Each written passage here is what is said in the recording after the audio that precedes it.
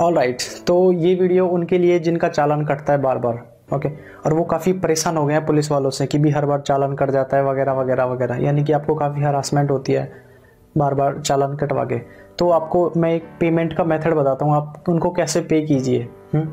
आपके घर में सिक्के होंगे सिक्के।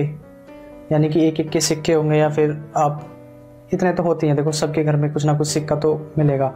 और कुछ लोगों के घर में तो इतने सिक्के होंगे कि वो चाह रहे हैं कि कैसे चलेंगे तो वो यहाँ पे चलेंगे। अगर आपका चालान कटता है ना तो आप थाउज़ेंड रुपीज़ तक, यानी कि एक एक के सिक्के हज़ार रुपये आप उनको दो ओके अगर वो मना करते हैं कि भाई हम ये नहीं लेते तो देखो section six of Indian coinage act 2011 वो ये कहता है कि आप एक एक हज़ार के, यानी कि एक हज़ार के एक एक रुपए के सिक्के दे सकते हो, यानी कि आपको कोई मना नहीं करेगा।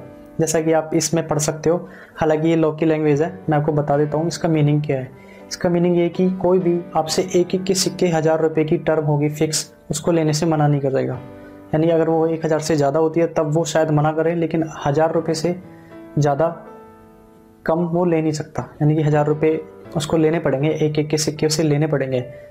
तो उसने आपको डिस्टर्ब किया, यानी कि आपका चालान काटा। तो आप भी एक काम कीजिए, उनको ऐसे पे कीजिए। यानी कि वन वन के सिक्के दीजिए, ओके? तो अगली बार सोचेगा कि भी इसका चालान काटू या ना काटू, ओके? और उनको गिलवा गिनवा लेना कि भाई गिन ले। आर गेटिंग तो आप भी थोड़ा इन्जॉय कीजिए लॉ को इन्जॉय कीजिए, ओके? अगर फिर भी कोई लड़ाई लुड़ाई करता है कि भाई ऐसा नहीं चलता या फिर तो आप इस चीज़ का हवाला दे सकते हैं कि भाई आपने section six of Indian coinage act नहीं पढ़ा।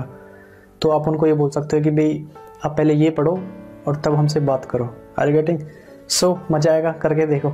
I will see in the next video bye